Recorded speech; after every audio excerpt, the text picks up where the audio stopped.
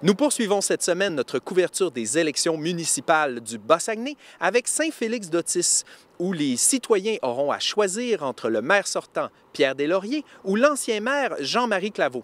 Nous avons posé les mêmes questions aux deux candidats et avons tiré au sort l'ordre de présentation.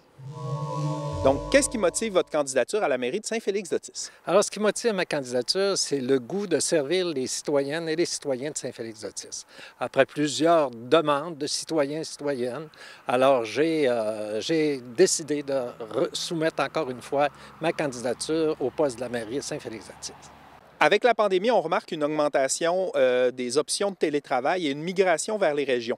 Croyez-vous que cet exode est un enjeu pour Saint-Félix-d'Otis? Oui, c'est un enjeu très important. D'ailleurs, durant la pandémie, beaucoup de villégiateurs sont venus travailler euh, sur le territoire de la municipalité et je pense que la prolongation de la câble distribution par Derry Télécom sera la bienvenue parce qu'on veut, veut Internet haute vitesse sur le territoire, partout sur le territoire. Alors oui, c'est un enjeu important et étant donné qu'on est une municipalité de villégiature avec au-delà de 500 chalets ou résidences secondaires, alors c'est un enjeu important.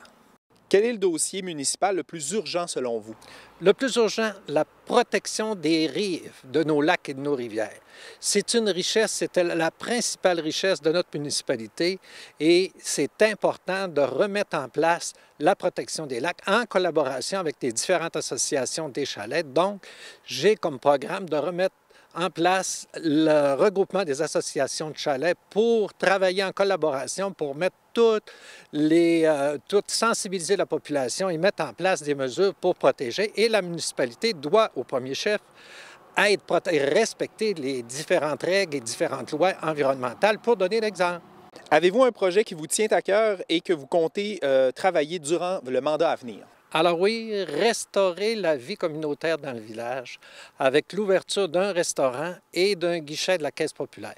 C'est, on a vécu plusieurs fermetures au cours des dernières années, dont la quincaillerie, des salons de coiffure, la Caisse populaire, le site de la Nouvelle-France qui est fermé. Alors, il faut restaurer un climat euh, dans la municipalité pour redynamiser. Alors, c'est le but principal. Entre autres, ça nous prend un restaurant. On a mis des mesures en place pour attirer les jeunes familles, mais maintenant, il faut les animer, il faut, faut donner des services, il faut qu'il y ait des services dans le milieu et ce sera prioritaire pour la municipalité. Naturellement, avec euh, les euh, différentes d'une municipalité, qui sont la santé budgétaire, le contrôle aussi de la taxe. On a beaucoup de commentaires. Il faut plus que notre taxe augmente dans la municipalité. Alors, entre autres, on va s'y attarder. On va reviser toutes les opérations de la municipalité et c'est un grand programme qu'on a.